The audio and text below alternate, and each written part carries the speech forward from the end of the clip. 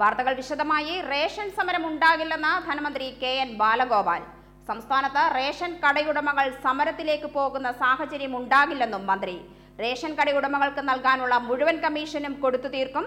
കടയടച്ച് പ്രതിഷേധമെന്ന വാർത്തകളിലാണ് കണ്ടത്. അക്കാര്യം ഔദ്യോഗികമായി ഇതുവരെ അറിയിച്ചിട്ടില്ലെന്നും മന്ത്രി പറഞ്ഞു.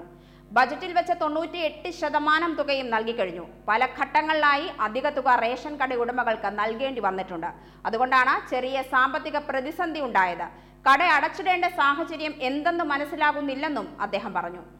സംസ്ഥാനത്തിന്റെ ബഡ്ജറ്റിൽ വെച്ചേക്കുന്ന പണത്തിന്റെ തൊണ്ണൂറ്റിയെട്ട് ശതമാനം ഇപ്പം തന്നെ കൊടുത്തു കഴിഞ്ഞിട്ടുണ്ട്. അപ്പം ഞാൻ മനസ്സിലാക്കിയ നേരത്തെ ഈ പ്രശ്നം വന്നു കഴിഞ്ഞപ്പം നമ്മുടെ ബന്ധപ്പെട്ട ഉദ്യോഗസ്ഥന്മാരെ മന്ത്രിയായിട്ടും സംസാരിച്ചിരുന്നു.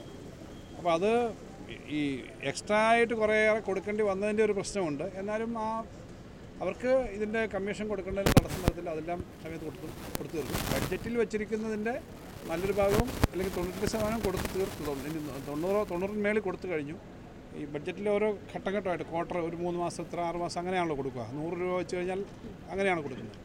അപ്പോൾ അതിന്റെ ഗഡുവ് കഴിഞ്ഞു. ഇപ്പം അങ്ങനൊരു അവസ്ഥയിലേക്ക് പണം പിന്നെ പണിമുടക്കം എന്നുള്ള തരത്തിലൊക്കെ വാർത്തകൾ പറഞ്ഞിട്ട് കാര്യം എന്താണെന്ന് മനസ്സിലാവുന്നില്ല. എന്തായാലും വകുപ്പിന്റെ ശ്രദ്ധയിൽപ്പെട്ടിട്ടുണ്ട് അവരും ഇടപെടുന്നുണ്ട്. കൊടുക്കാനുള്ള പണമെല്ലാം കൊടുത്ത് തീർക്കും. കാരണം കൊടുക്കാനുള്ള കമ്മിറ്റ്മെന്റ് എല്ലാം കൊടുത്ത് തീർക്കുമല്ലോ. ഇതിൽ എക്സ്ട്രാ ആയിട്ട് കുറേയേറെ കമ്മിറ്റ്മെന്റ് അധികം കൊടുക്കേണ്ടി വന്നതുകൊണ്ടാണ് ഈ ഒരു പ്രശ്നം വന്നതെന്നാണ് ഞാൻ മനസ്സിലാക്കുന്നത്. എന്തായാലും അത് നോക്കിയിട്ട് ആ പ്രശ്നം പരിഹരിക്കും.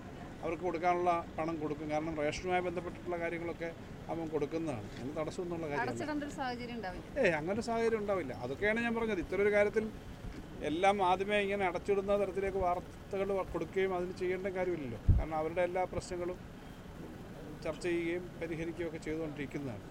അതിനൊരു ബുദ്ധിമുട്ടൊന്നും പറ്റില്ല